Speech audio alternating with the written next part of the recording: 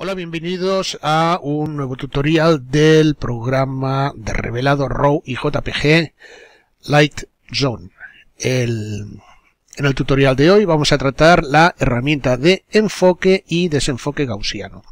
Bien, todos, todas las cámaras digitales, o si no todas, la mayoría de las fotos digitales, tienen eh, o presentan una suavidad en los detalles finos, que eh, a veces parece que no esté muy enfocada la foto y que se beneficia del enfoque. Esta foto, bueno, aquí está perfectamente enfocada y en cambio la cara se ve muy suave porque tiene eh, son los detalles finos que hablábamos. Entonces esto permite enfocar toda la foto o parte de ella por el medio de la máscara de desenfoque. Esto eh, incrementa la máscara de desenfoque, no es que enfoque, porque es imposible enfocar, pero incrementa la percepción del enfoque enfatizando los bordes, ¿eh? los bordes de cada píxel o de cada grupo de píxeles, variando su, su, su, contraste, pues hace eh, parecer que esté más enfocada, que es eh, una, una manera que se engaña la visión humana, enfatizando los bordes, parece más enfocado sin que lo esté. Bueno, pues abrimos la herramienta, la herramienta es como todas, es normal, entonces tenemos la cantidad. La cantidad dice la cantidad de eh, enfoque o la de, en cuanto se agudizan los bordes, eh, si lo viéramos los bordes muy, los bordes muy aumentados, pues veríamos que entonces se enfatiza mucho esos bordes. Aquí es 0, aquí 100, aquí no lo vemos, si lo hemos de subirlo, vale, por ejemplo, aquí vemos el detalle,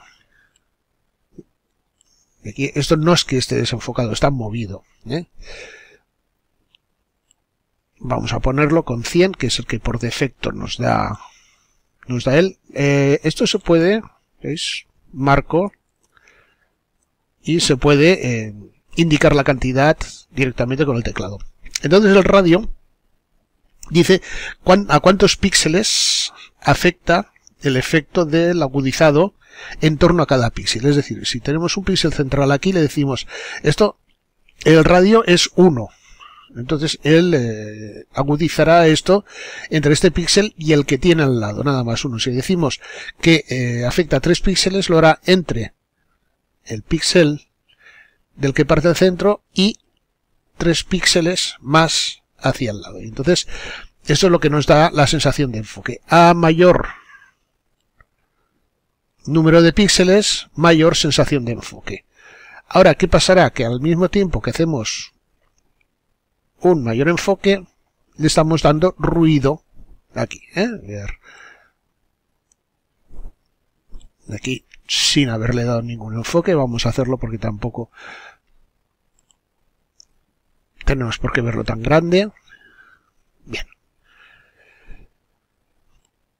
Si le vamos dando al radio, vemos que nos da, sobre todo en estas zonas, una mucha mayor sensación de enfoque, muy, muy bestia en este caso. ¿eh? Fijaros aquí ya como cambia totalmente la, la apariencia de la foto, por tanto esto hay que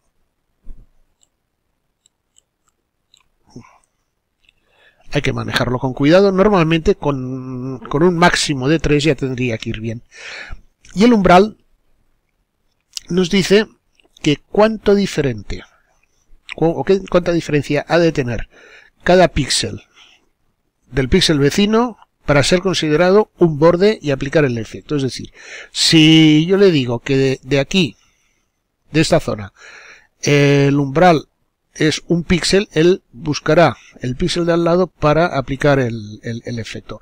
Ahora, si le digo que ha de tener 50 eh, píxeles, por decir una barbaridad, él dentro de 50 píxeles busca y entonces encontraría que aquí hay un borde, que sería este de aquí, y aplicaría el efecto. vamos a ver, píxel con cero píxeles, evidentemente nada, no aplica, pero a medida que vamos, sobre todo fijaros la, la parte esta de aquí, a medida que vamos aumentando el número de píxeles, pues nos aumentará la sensación de enfoque. ¿eh? Muchas veces no es demasiado perceptible, pero aquí sí que podemos jugar con, el umbral. El umbral ya vemos que no nos causa ninguna, ninguna barbaridad.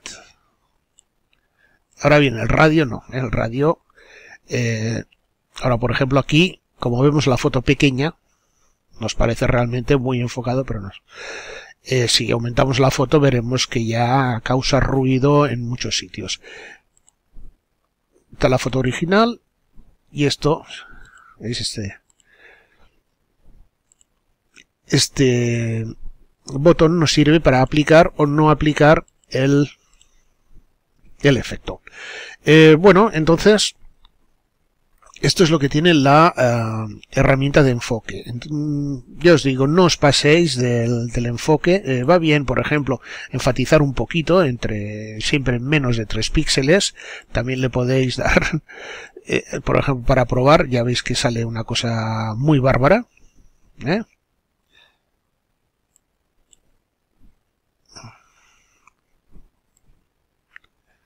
Sobre todo el radio nos nos influye de una manera muy, muy bestial, más que la cantidad del enfoque.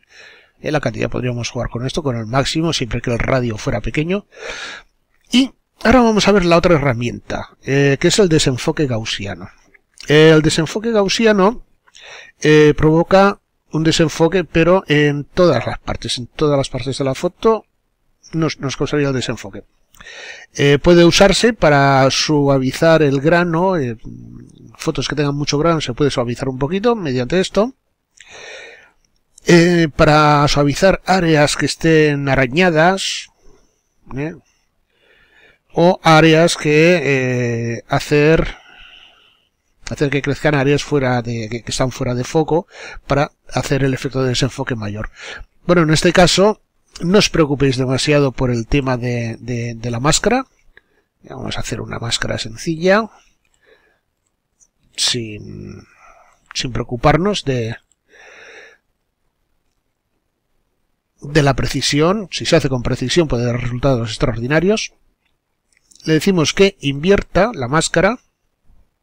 Ahora, en vez de trabajar con lo que hemos eh, seleccionado, trabajará en el exterior. Y fijaros que Ay, perdón, me he equivocado. Vale, vamos aquí.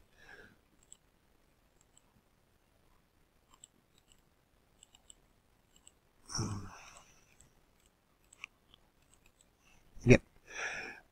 Para causar el desenfoque, le invierto la máscara. Entonces, en vez de trabajar sobre la zona que hemos seleccionado, trabajará sobre la zona externa.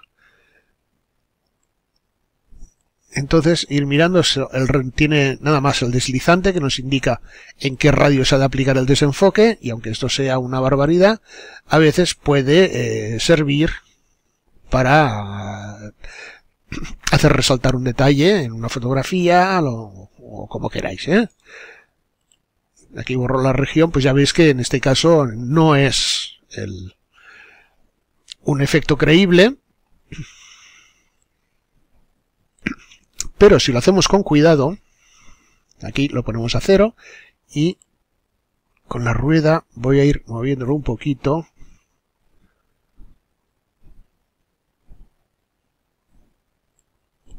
Bien. Voy a ir buscando el punto en que el desenfoque. Vale. Ahora aquí es un desenfoque que casi no se nota y eh, entonces ¿qué es lo que hemos hecho? Enfatizar la cara de la chica esta y